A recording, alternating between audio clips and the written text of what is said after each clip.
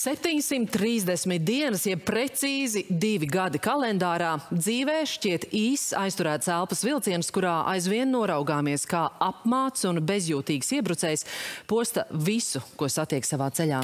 Jā, un vienlaikus divi gadi, kas mācījuši apzināties brīvības vērtību, audzējuši spītu nepadoties, lai cik liels būtu iebrucēja mehāniskais pārsvars un likuši arī godīgi palūkoties katram pašam uz sevi. Vai esam darījuši visu, lai uzvara būtu nevis cerība, bet realitāte. Esiet sveicināti 2024.